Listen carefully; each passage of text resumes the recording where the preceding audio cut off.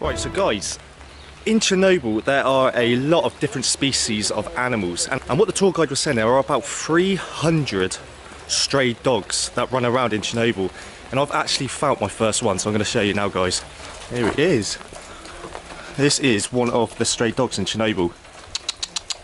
Our first one of many that we're probably going to see running around in Chernobyl today. Hello mate. No, he's just chilling. He wants to stay out the rain and he doesn't want to be hassled. So I'm going to get the camera out of his face and carry on.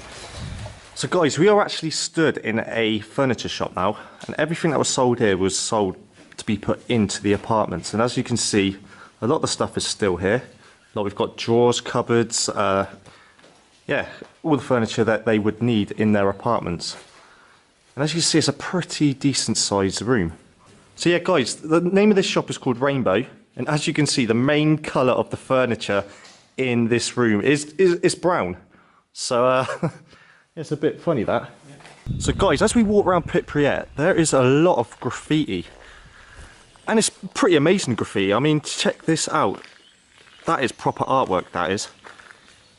And I mean, this has been there for just over a year. And also, guys, recently there has been a sighting of a bear actually in Chernobyl. So, uh, yeah, it's quite um, ironic, really. Now, I think the next place that we're going to explore is probably the place that I've been looking forward to the most. We are going to the amusement park. Now, I want to go there and get a photograph. That is like the main reason that I'm here. Cannot wait. Right, so guys, we are here. We are in the amusement park now. And I can see it, the most iconic part of Pripyat,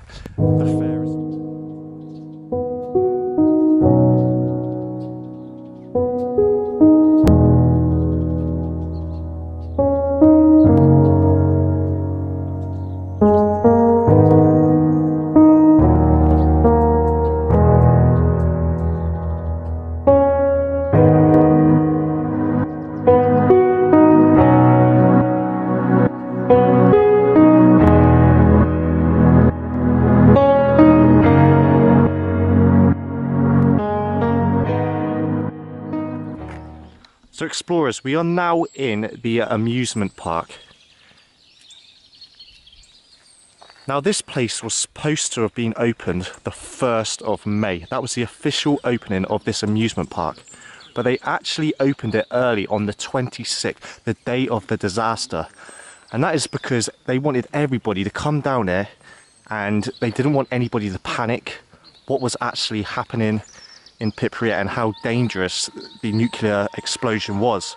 So they opened it just to like put everybody's mind at ease and it was only open for one day. And one thing that I noticed coming here is that Ferris wheel is a lot bigger than I first thought.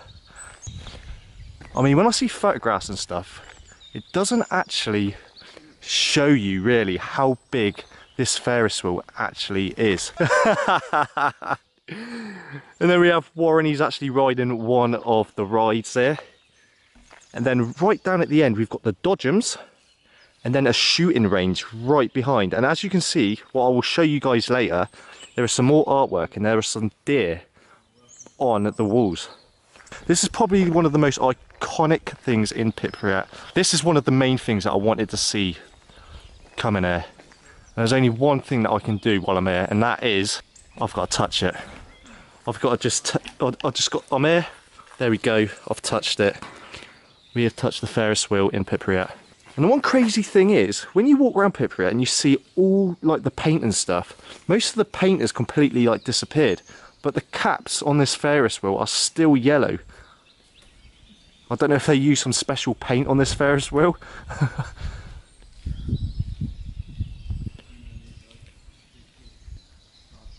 So guys, check this out. This is pretty crazy. Um, like on one spot, not so high. One spot not high, but just moving it over, it goes to 207.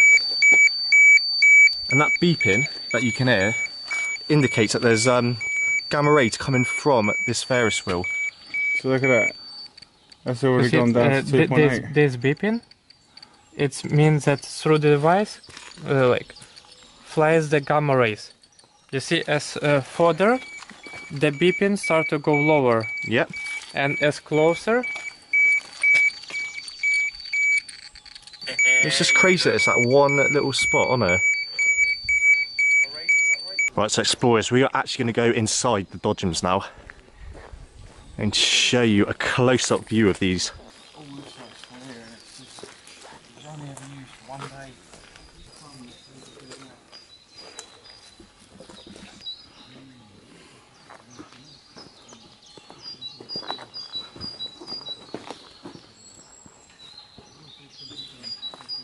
So guys, it's crazy to think that this amusement park was open just for one day. All the money that was spent to build it, and they only opened it for one day. It's like, yeah, it's hard to get your head around. Right, so explorers, we are now inside a parade room. And as you can see, all the banners are here, but were never used. Now this was going to be used on the 1st of May, the opening of the fun fair. And obviously the disaster happened before they could actually use it. So it's just all left there in this room, never used. And now guys, we are going in to the theatre. So guys, we are now at the back of the stage in the theatre and beyond this point would have been all the seats, but we can't go any further because it is pretty dangerous in there. And guys, in front of us as well, we've got some more lighting. And then beyond that would have been the seating area for the audience and the people that are going to come here and watch the theatre. Not going any further because it is like very, very dangerous.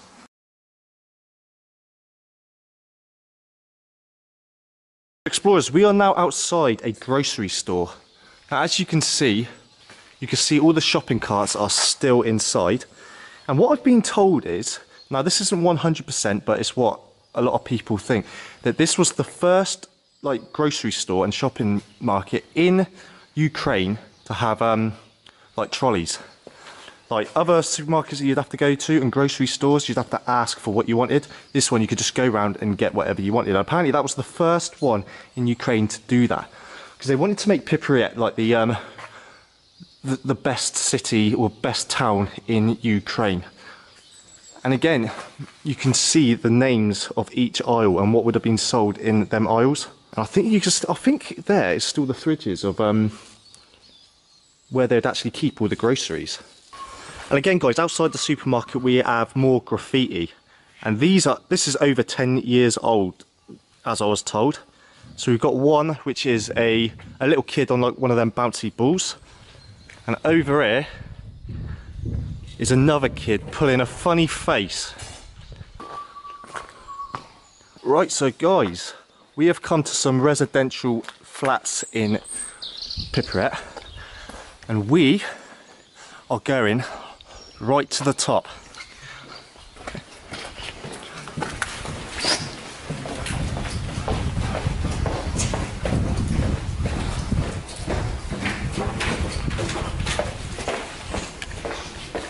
So guys, we are now on top of one of the block of flats, 16 stories up. Just check out this view. I think this is one of the best views in Pripyat that we are ever going to see.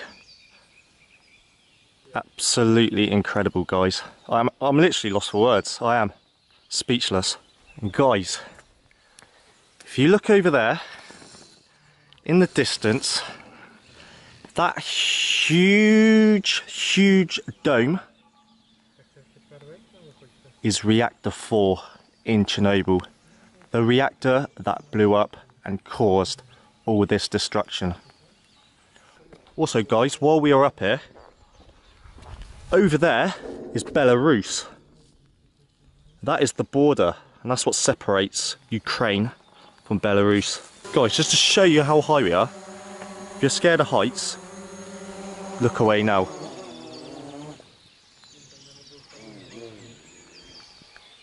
Sixteen stories high, looking over Pripyat.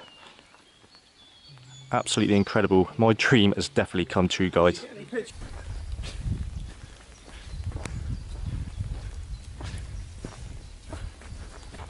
So we're here entering the hospital now. And this is the main hospital in Pripyat. And I mean, there's a lot of stuff to see in this place.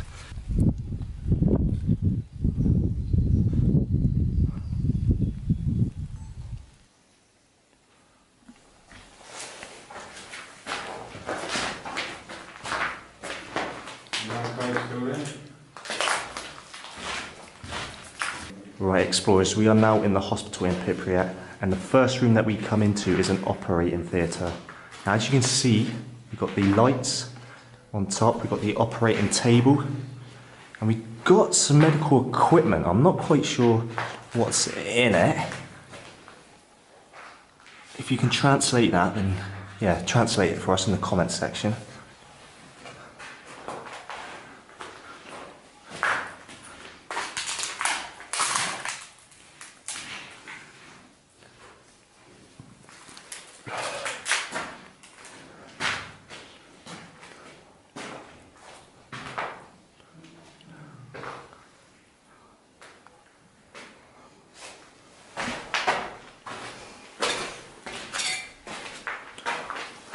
Also, guys, looks like there's like um, some sort of safety uh, coat or something.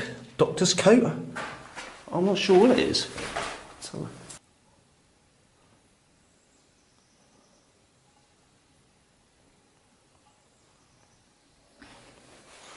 Honestly, explorers, check out how long these corridors are.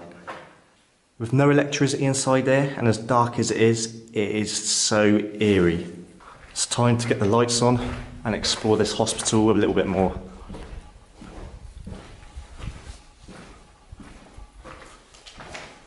So, guys, if you've seen um, Josh's video on Chernobyl, you know that he went into the basement of this hospital and he found all the firefighters' um, equipment down there.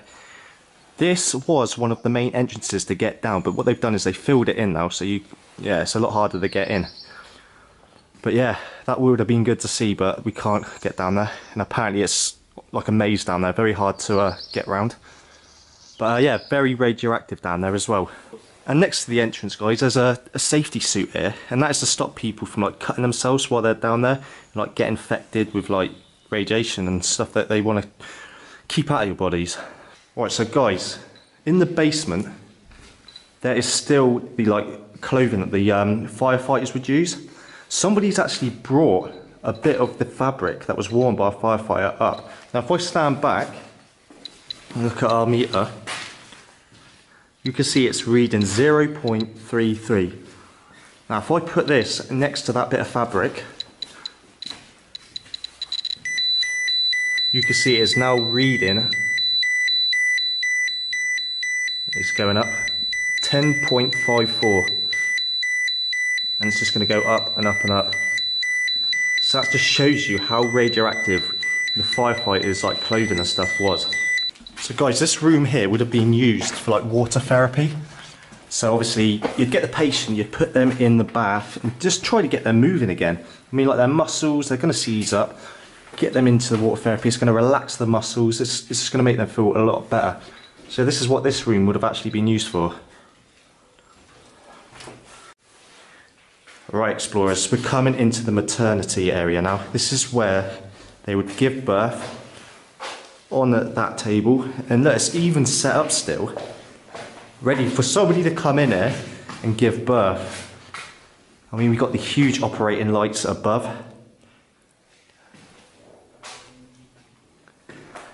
So, explorers, this book here, everything that you read ends in 85. I mean, I don't know if these are the names of like patients or like the babies that were delivered. But 85 is the last date that it goes to. Wow. Oh god. We've got another one. Got another one of these birthing chairs. So guys, you can just picture how they would have given birth in this hospital. I'm not going into too much detail, you've got your own imaginations. But somewhere down here is where they would have bring the babies.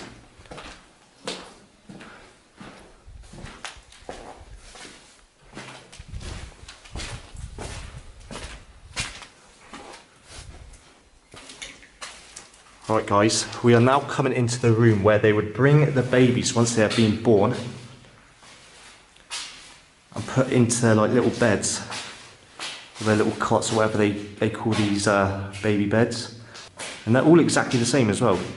Some are raised up and some are completely flat.